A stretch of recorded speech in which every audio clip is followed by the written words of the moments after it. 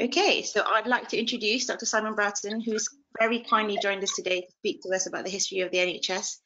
Um, Simon is a consultant a pediatrician and also clinical director of child health at King's um, College Hospital.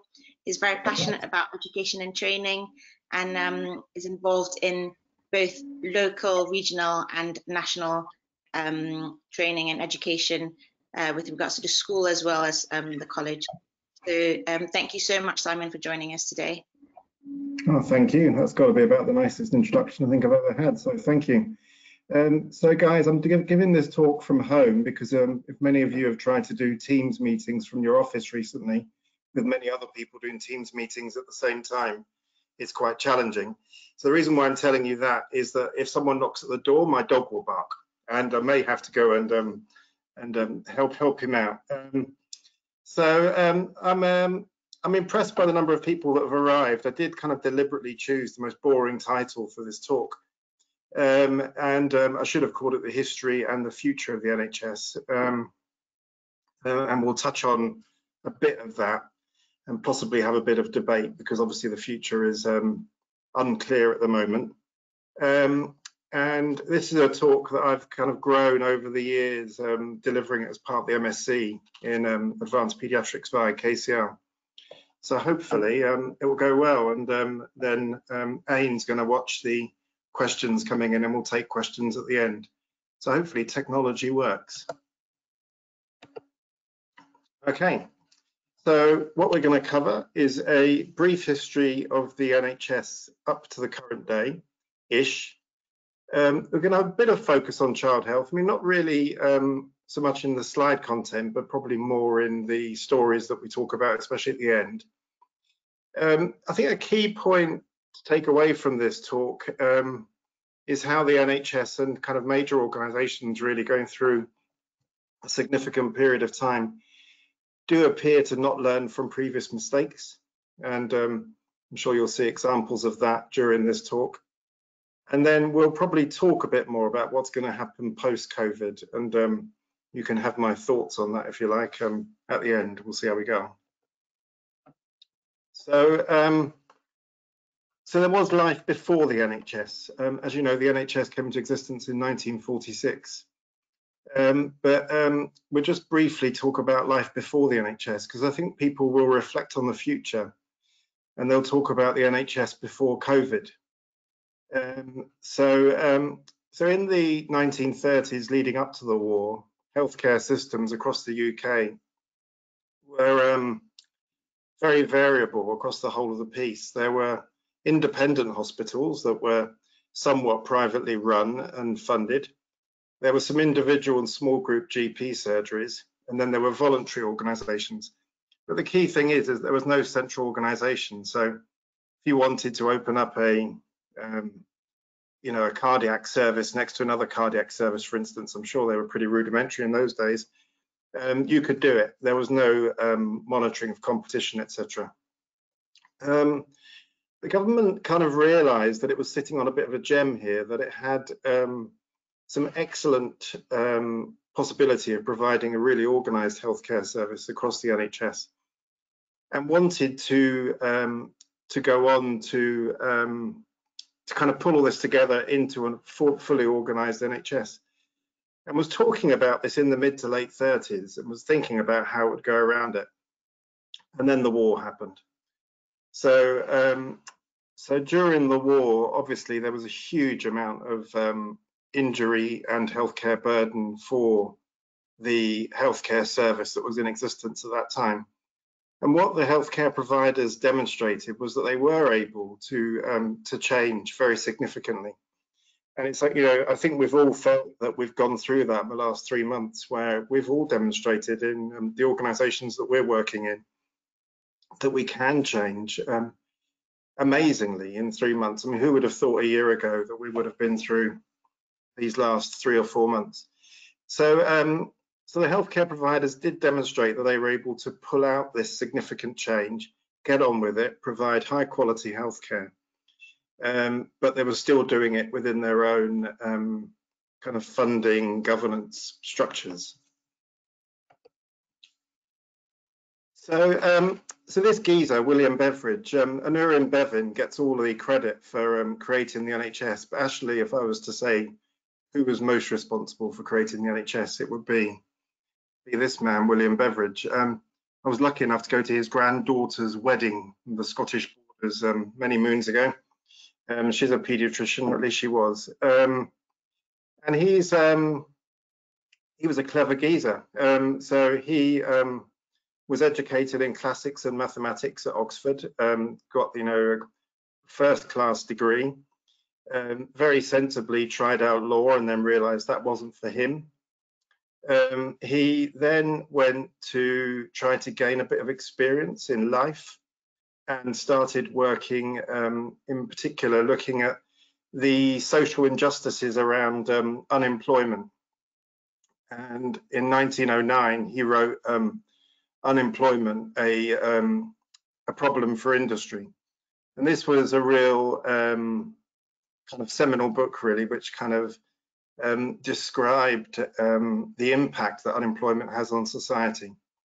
Um, and he was very much described as a scientific reformer who um, was genuinely concerned with the economic and social impact that the health of the nation um, could have, and, and you know, in, in, particular for moral reasons. Uh, and then from 1919 to 1937, he directed the London School of Economics. So um, clearly a very, very bright chap. He then became a civil servant. And, um, and in 1941, I'm just going to see if I can change this. Um, oh, have I? Can you guys still see or not? Um, in 1941, um, he um, he was asked to commission a report into the healthcare system and how it should be organised. Uh, and he pulled this together in 42 called Social Insurance and Allied Services. And he recommended that the government needs to fight the five giant evils of want, disease, ignorance, squalor, and idleness. And um, they perhaps wouldn't be our five giant evils now, but they're not far off. Um, you may rename them slightly differently, um, but I think they're probably as applicable um, in today's society as they were then. He talked about funding and that it would have to be, um, there would be a weekly contribution to the state. Um, and um, in return from this contribution, he would fund the NHS uh, pay benefits to the unemployed, the sick, the retired and the widowed. And he wanted to ensure that there was a minimum standard of living in Britain below which nobody fell. And in particular, he recommended care from the cradle to the grave, which is the first time that that kind of um, concept was um, was created.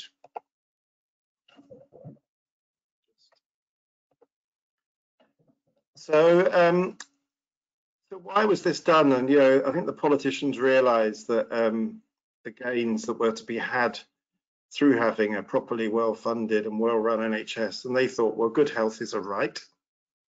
They knew the existing services were, while there was some brilliant um, clinicians, they were actually very disorganised and ineffective. Um, the voluntary hospitals were underfunded and were unable to provide the same quality of care as the funded, more private institutions. Uh, the Second World War had demonstrated that there could be an effective emergency medical service, and the um, healthcare system demonstrated it could rapidly respond to massive change. And the younger um, members of the nursing and medical profession um, felt that there was a better way of doing things that would be more fair for everybody. Here you go. So there's the NHS bill that was um, that was created in 1946, and as you know, that was delivered by um, Aneurin Bevan, who is also an amazing chap. So, um, so published in 1944, um, proposed the creation of the NHS with local and regional boards and was further clarified in 46. And um, I don't know if you guys know, but the very first patient to be treated on the NHS was a teenager with liver disease. Um, that was the first NHS patient. Um, so um, Aneurin Bevan um, pushed for free healthcare paid for by taxation. And um, I think the NHS did kind of, the people behind the NHS, the civil servants did think that by putting money into healthcare that we would make the healthcare population more well. and in the long term it would cost less, which was a bit naive. Um, teaching hospitals governed themselves at that particular time, but all hospitals were nationalised. Uh, he created this idea of merit awards for those providing very good leadership. Nurses were regulated by the Royal College of Nursing and hospital doctors were regulated by the Royal Colleges.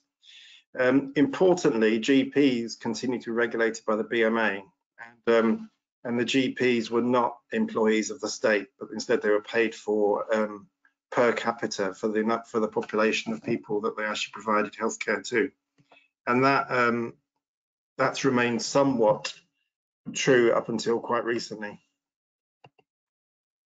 So, um, so Bevan had um, some fundamental questions that um, that he thought um, would need to be asked, and uh, I think if you look at these questions, they're as valid today, if not more so than they were in 1946.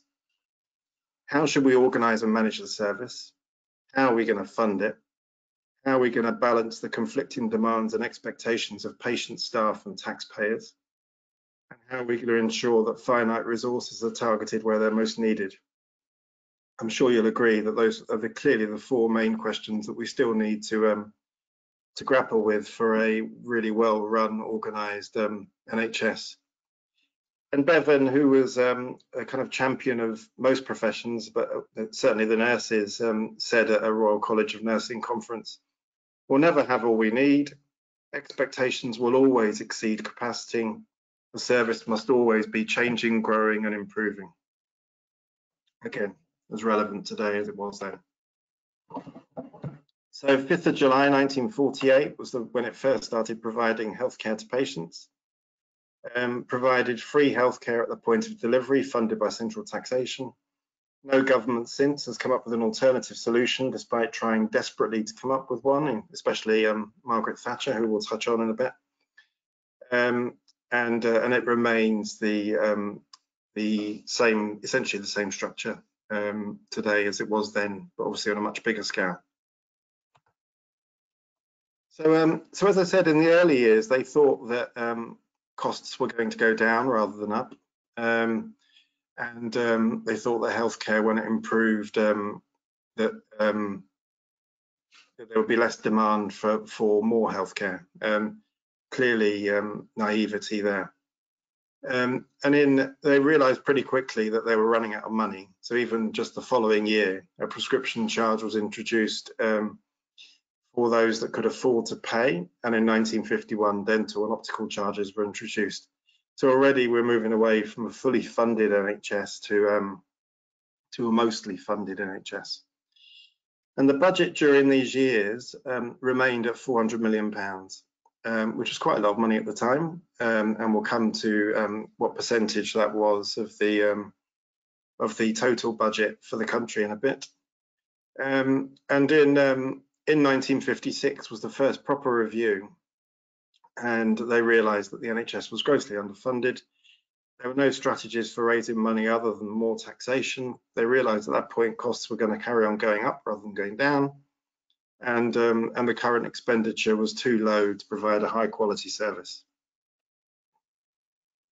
So um, some of you might remember this guy, maybe not um, personally, but you certainly would have heard his name. So um, so if you think about the kind of structure of the hospital system around the country, most small to medium town has got a DGH.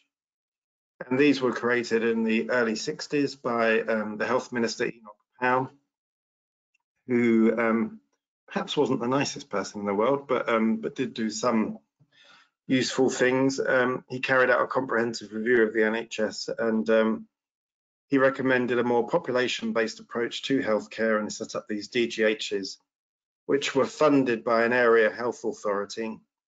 And each, um, each DGH um, and area health authority looked after about 150,000 people. So there's about six to 700 of these DGHs throughout the country when they were created, and obviously um, there's a lot less now, now about um, 260.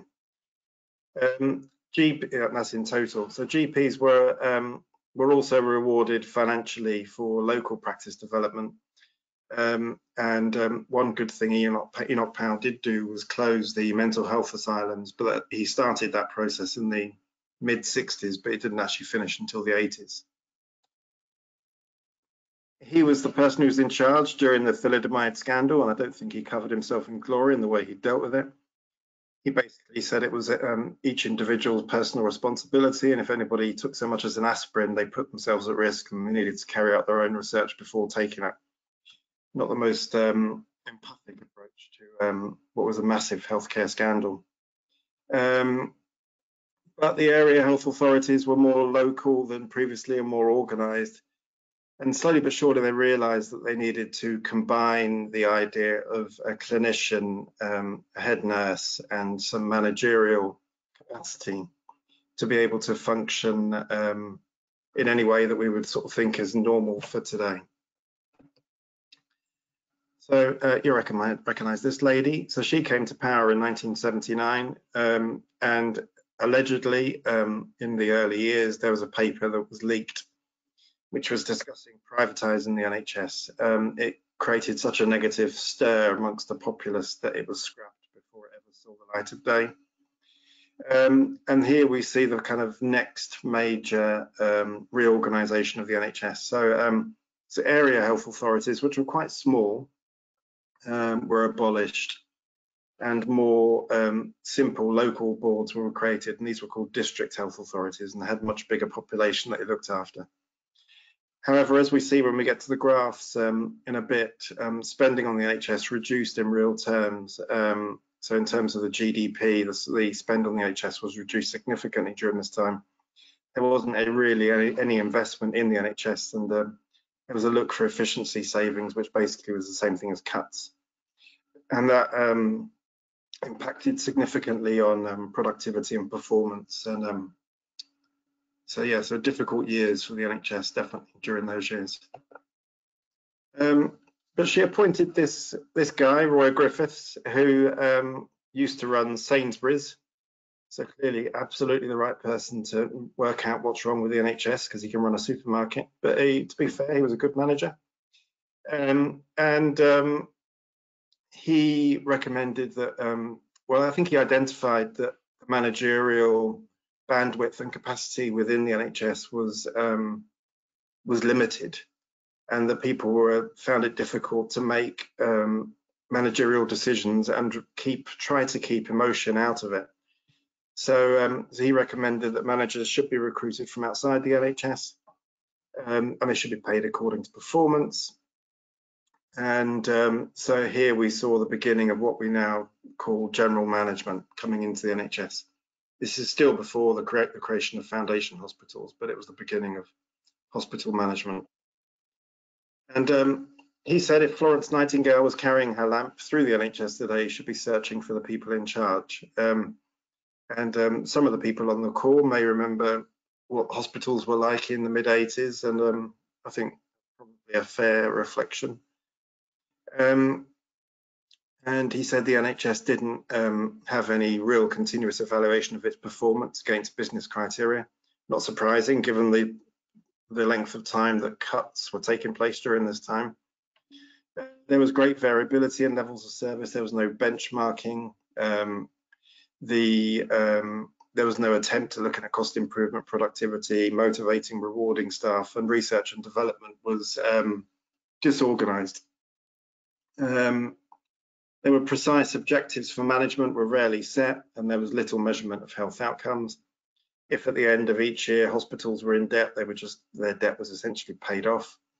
Um, but um, they were it was very difficult for the hospitals to actually you know get that money paid off and then so there was significant cuts that was um, that were happening um, and there was yeah no evaluation of clinical practice and quality and effectiveness at the time so um, so John, the John Hopkins Institute um, in 1972 proposed this um, this model of a clinical director um, a, a, lead clinician working alongside a manager, um, and then um, eventually that kind of evolved into including heads of nursing. And um, and this model was was championed in the UK initially at what was the sort of Guy's and St Thomas's hospitals, UMDS. Um, Professor Sir Cyril Chantler was the person that introduced that into those hospitals, and um, and that has become the standard um, way that we run the NHS now, and the standard way we work as clinical triumvirates with a head of nursing, clinical director, and a and a general manager leading each department. Um, so, um, so these were organised. Um, the idea was that the clinical director would provide the clinical leadership to the clinicians. The, um, the head of nursing would bring along the, um, the nursing team, but the general manager would be the budget holder for the directorate and um, would, would, would would look after the money side of things so that the clinicians could just focus on the clinical side of things. Um, but as I said before, it was difficult for a hospital to actually go bust. So there was no, um, even though there was a massive drive to cut down funding, um, it was still difficult to run these organisations as a proper business in a business term. So, um, so we're now moving out of um, to, towards the end of kind of Thatcherism, and um, and the internal market, which was the um, Conservative government's attempt to address problems such as growing waiting lists. Well, the idea was that it would help to create a bit of competition, um, and um, and it would lead to a more responsive NHS, hopefully fostering innovation. And um, you know the best organisations would rise to the top and would provide the best service, and the less good organisations would um, would be less able to keep up with what the top organisations were doing and so it actively encouraged competition. Um, I think if a lot of us were going to go back and think about how we would reorganise the NHS, this is probably one area that we would want to have a bit more of a think about. And um, I won't go through this slide in too much detail, but um, you know the the internal market was created, which led um, to the creation of hospital trusts and, uh, and in the first wave, there was 57 NHS trusts that came into creation. But by 1995, all healthcare was provided by trusts. And each trust had its own board and was executive and non-executive directors, and they were in charge of their own budget, and they weren't bailed out if they went into debt um, to the same extent as they were previously. Um, and they were more independent organizations. They're working within the internal market. There was competition between these organizations. GP fund holders also um, happened at the time. Some of you might remember. So there was this two-tiered service to GP practice. Some of the GPs actually held their own budget and were responsible for how they commissioned their own um, healthcare for their patients and other GPs carried on in the standard um, system through their NHS um, sort of commissioning. It did lead to this two-tier um, system, which wasn't particularly fair and was a bit of a postcode lottery about what you could get um, at any time. Um, and also at this time, private providers um, started to come more into existence, and they were given more access to the ability to actually take on healthcare. So moving on, so Labour now, um, in May 1997, Labour back to power and Frank Dobson brought in his paper, The New NHS, Modern Dependable. And, uh, and one of the things was going to be payment by results. So this, um, you've heard of HRGs, so this healthcare resource groups, which are groups of um, lists of diagnoses from the ICD-10 code currently and from other um, coding systems and um, hospitals are paid um, in bundles of healthcare for their HRGs, which are linked through these payment by results.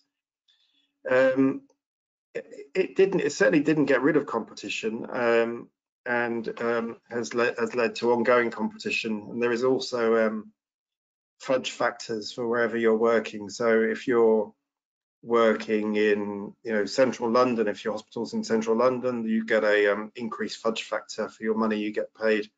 And say if you were working in Swindon or Bath, so the amount the fudge factor you'd get would be less because all the overheads would be um, would be less. Um, sorry, a long boring slide. Um, it, it's there for you to look at. And um, but this is what I've just talked about really, which is these HRGs and um, the development of service level agreements.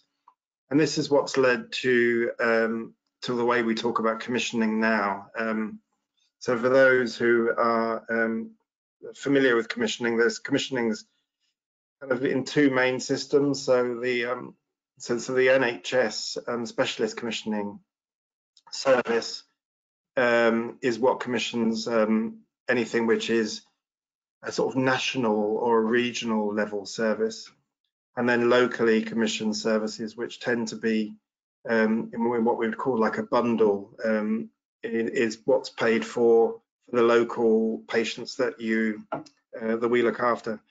They are looking at getting rid of the um, specialist commissioning services um, system in the next year or two um, because it possibly um, it's a, it's a way of getting more money into certain hospitals.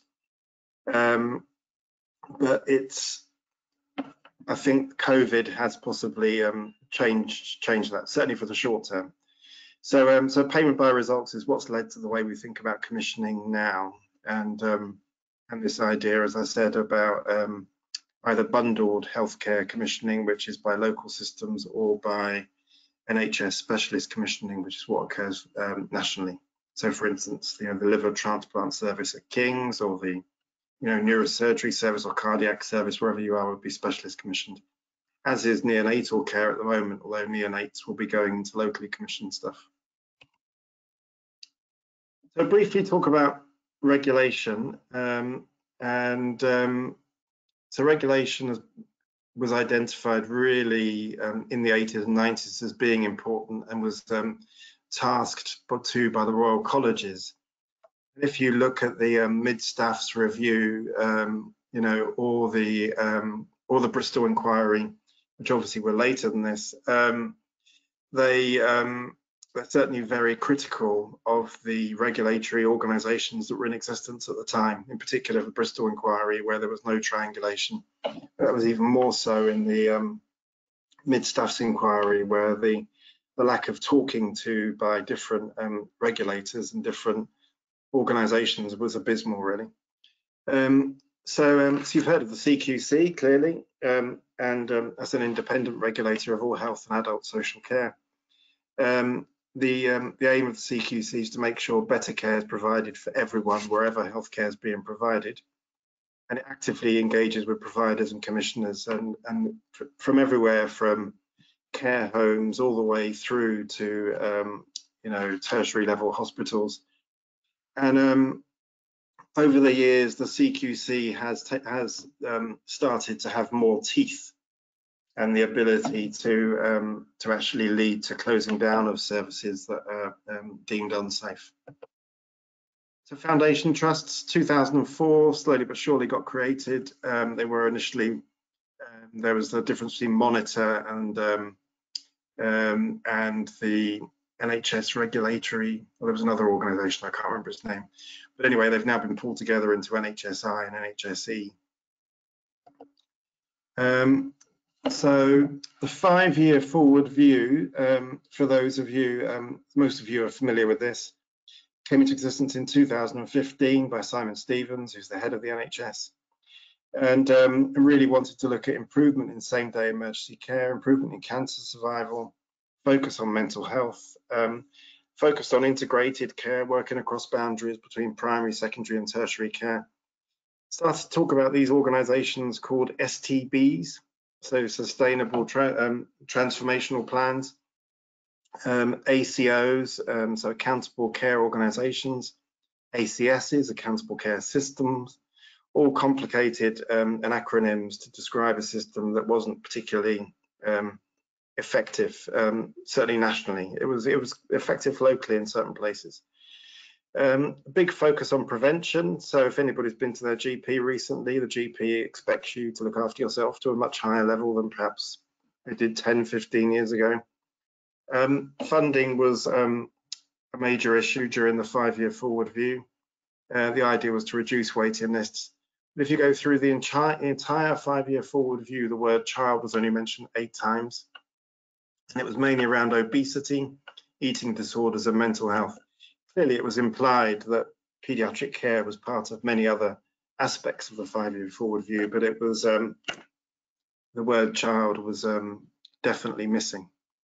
So now right up to modern day, so the 10-year long-term plan published last year, um, thankfully is much more child focused than is focused on the whole life from fetus to old age. Um, the idea is making sure everyone gets the, um, I should say, best start in life, not nest start in life, um, and uh, delivering world-class care for major health problems. Um, one of the things, if you, um, I think if you were to go and ask the average person in the street how wonderful is the NHS compared to all the other healthcare systems in the in the world, many people would think it's the um, it's the best. However, if you look at our cancer outcomes um, in adults for um, compared with our European partners, um, out of about 21 countries across the whole of Europe, our cancer outcomes certainly are in the bottom 40% of those. Um, they are improving, but everyone else is improving as well. And um, so um, there, I think there is lots more to be done, and hopefully the 10-year um, plan will help to uh, address some of those inequities that we have with our European partners. So um, the idea is to support people to age well, um, mainly focusing on prevention and tackling inequalities, supporting the workforce and better use of technology. And, um, and so the STPs have now moved to integrated care systems. So you may be familiar with ICSs. So I'm most familiar with the um, Southeast London ICS. So we previously we had six PCTs for each of the boroughs, um, but now um, Lambeth, Southwark, Greenwich, Lewisham, Bexley, and Bromley, I think that's it, um, are um, have formed together into um, an ICS. And um, the idea is, is that the ICS will be able to focus on the population health for the whole system um, of all the people it's working with, but also work with the NHS trusts um, and GPs and mental health and community providers and voluntary organisations to pull all this together into a package um, which provides best healthcare across the um, across the system. They're young; they've only just come into existence in April this year, so just during COVID, that was um, a challenge for them, undoubtedly. So as I said, um, finances. So if you go back um, right to the beginning and um, so 1945-ish, you'll see that initially we started off with about 1% of our GDP being put into the NHS. Uh, that kind of rose all the way through to about 1980, and then you can see the Thatcher years, uh, where um, the funding decreased significantly from um, from sort of 81, 82 all the way through to about 90. And you see the Tony Blair years um, coming in later, where funding went up significantly. And at the top where you can see the plateau, um, that's our most recent um, um period of time where you can see um, healthcare has not increased um, in terms of funding for the last seven years or so. To be fair, it has increased this year significantly, unexpectedly. So, but that's funding.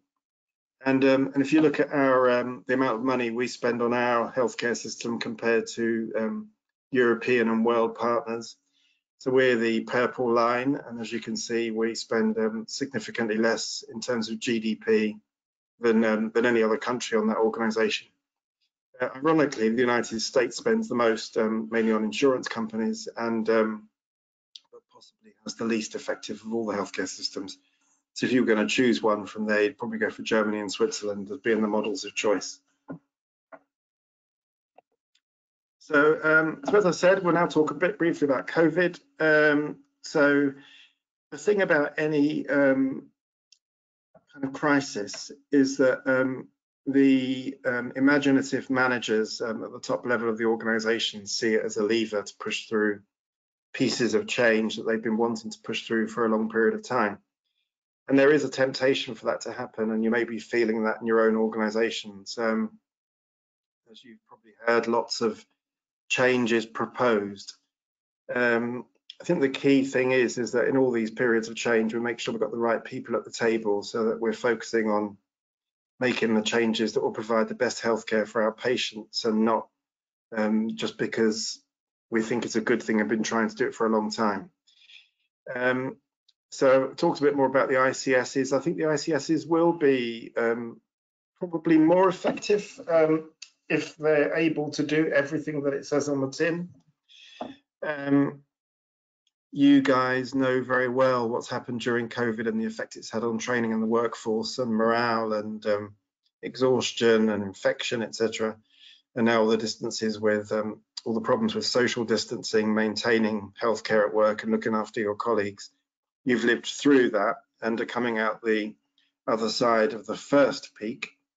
Um, what we don't know is what the second peak and what the next big peak will be like. Um, that's a bit um, it's a bit difficult to make plans when we can't um, exactly predict, but we are predicting that this winter is going to be um, a significant challenge.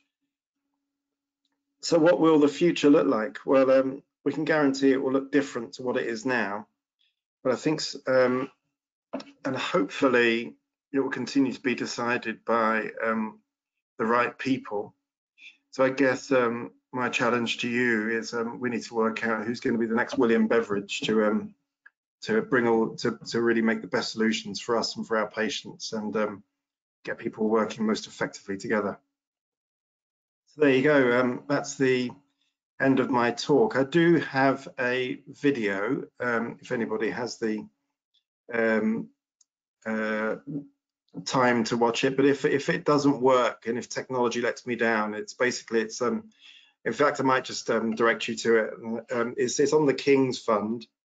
And if you type in the um, structure of the NHS on the King's Fund um, health uh, webpage, there's a four minute cartoon which um, really summarizes nicely um, the, the kind of current structure of the NHS, but it's already out of date. So it only goes up to about 2019, beginning of 2019.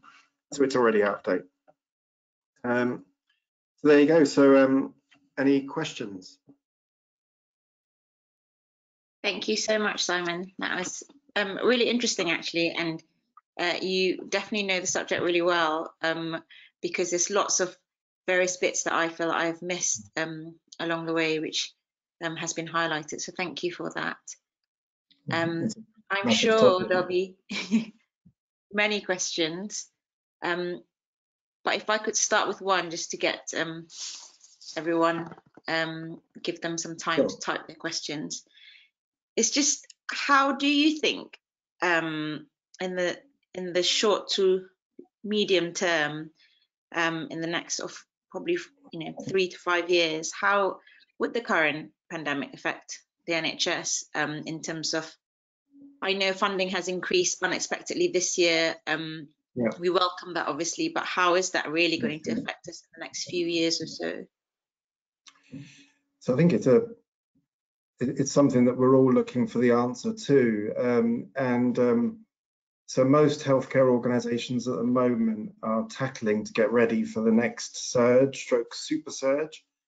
So they're looking at increasing significantly the number of intensive care beds that they've got in each organisation and their ability to cope with flow through the emergency department.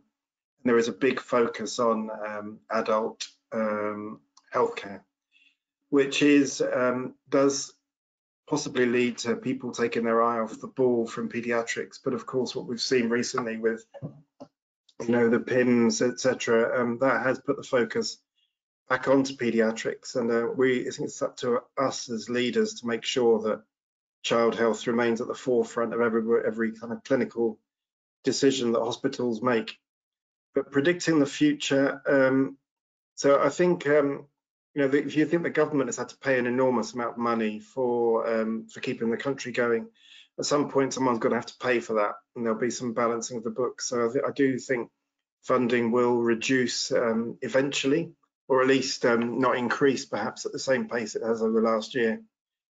Um, and um, I look at, I think networks of care are going to be absolutely essential. And I think, um, I think it's really up to us as clinical leaders to be brave and to make the right decisions for um, our patients across the whole network, and not to be um, not to be driven by our own um, needs within our organisations, but to focus on healthcare for our patients across the the whole region. Thank you. Yeah, I hope that um, instead of trying to manage the current issues, we don't let our eye off the inequality and um, uh, all the prevention medicine that we should be um, doing. And as we have said in the in the 10 year plan that we will um, be carrying forward. Thank you, Simon. Absolutely. I think there's a question there from Janani about, um, so do you think the current bureaucracy and management structure in the NHS is too complicated? Thus more money is going to paying management and PFI rather than the clinical care itself? So I think the answer to that question as clinicians is always yes. Um, and the answer to that question as a bunch of managers is probably no. Um, and um, but it is um, very complicated. Um, but I guess that's not surprising, bearing in mind it's a 120 billion pound um, industry now. So, and we as clinicians, um, we, we, we it's, it's, essential that we're involved in decision making that uh, impacts upon patient healthcare. But we're not um, the best uh, managers and decision makers in terms of finance for the for the whole country. Um, so, um, so yeah, so I, I, I think it's always tempting to to think that we need less managers, but actually, the further you go up the tree, the more you realise that um, most of them are working extremely hard and adding a huge amount of value to our um, healthcare system.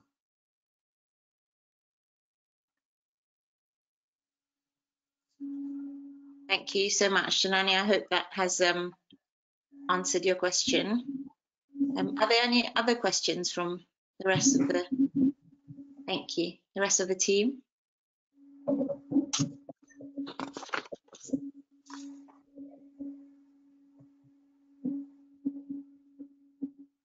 I've got, well, a comment really about um, your first few slides about the questions on how best to manage the NHS and the four or five things that are um, yeah. were asked then as a as a challenge and um, are still very very relevant now.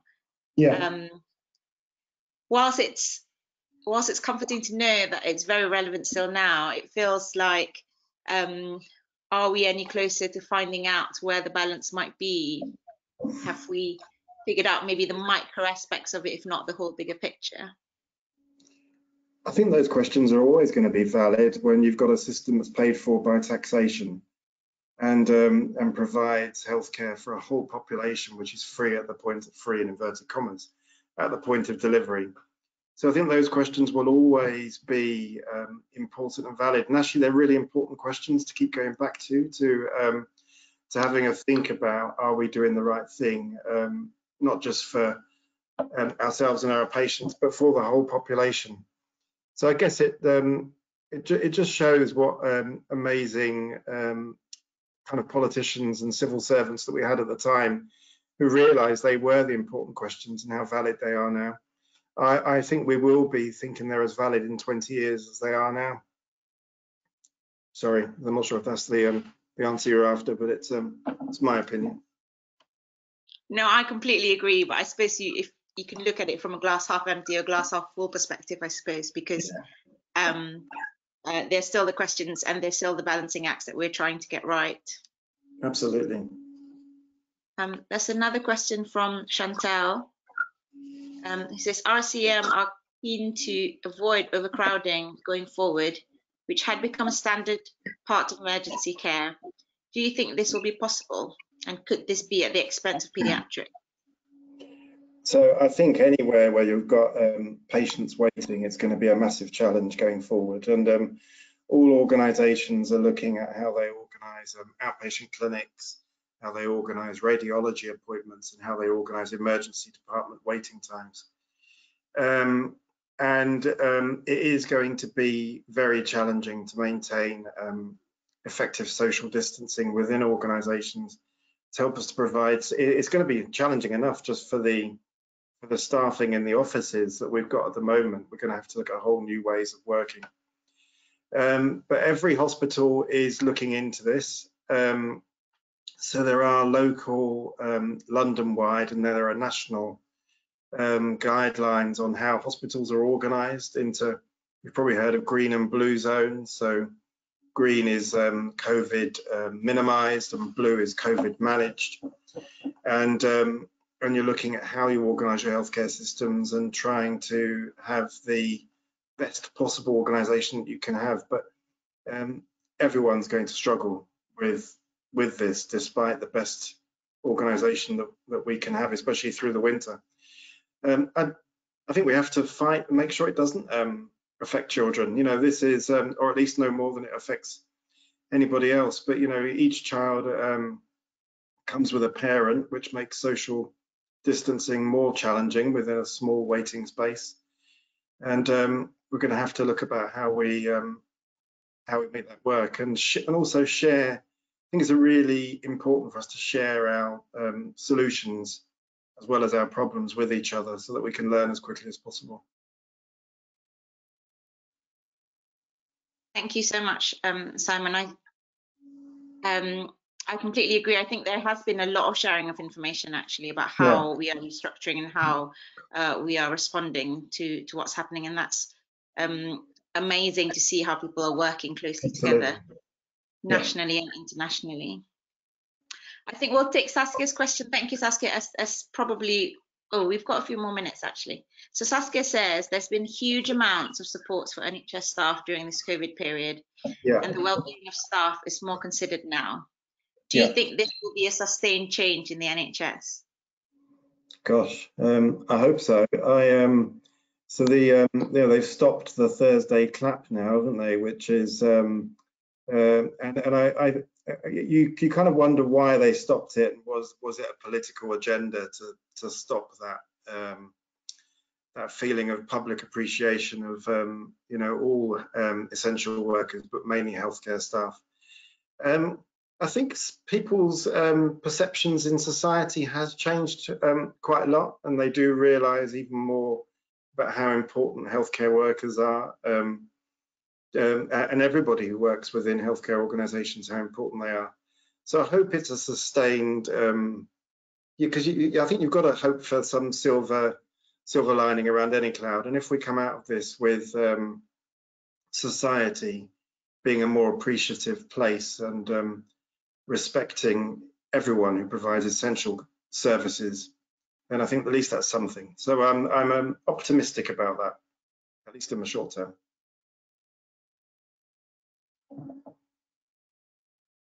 Thank you. Um, I, I am optimistic too.